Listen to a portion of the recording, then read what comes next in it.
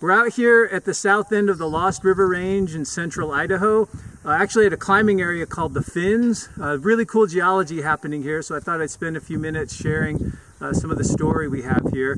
Behind me here you can see some of these big fins of rock. This is limestone. These rocks actually formed about 350 million years ago during the Mississippian period when most of Idaho, in fact, most of the western United States was a shallow marine setting. So this was all seafloor, underwater seafloor area.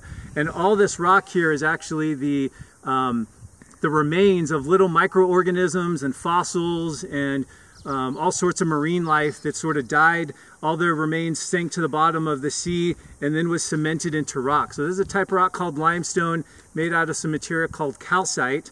Uh, so these beds were, were deposited at the bottom of the ocean horizontally, but you can see here they're actually sticking up, it, it's hence the name of the fins, they're sticking up at these nearly vertical orientations.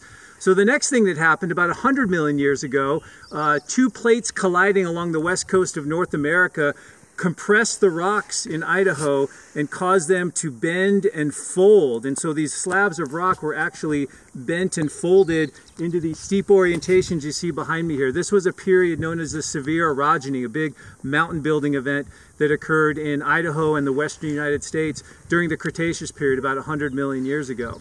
Uh, and then the next thing that happens in this area is this whole mountain range gets uplifted uh, during the last 17 million years or so uh, during a period called basin and range extension. So then we have, instead of compressional forces, uh, forces stretching the Earth's crust east to west, breaking the mountain ranges up into, or breaking the rocks up into mountains and valleys across this part of uh, east central Idaho. And then behind me here we can see the, vast Snake River Plain. Some of those big buttes sticking up there are volcanoes. The tallest, steepest ones are rhyolite domes, basically extrusions of thick, pasty lava that kind of oozed out of the ground uh, during the last maybe 600,000 years or so. So pretty interesting stuff. Uh, one last thing we want to kind of check out here, if I can get my great videographer to come over, is we've got these really cool fossils here.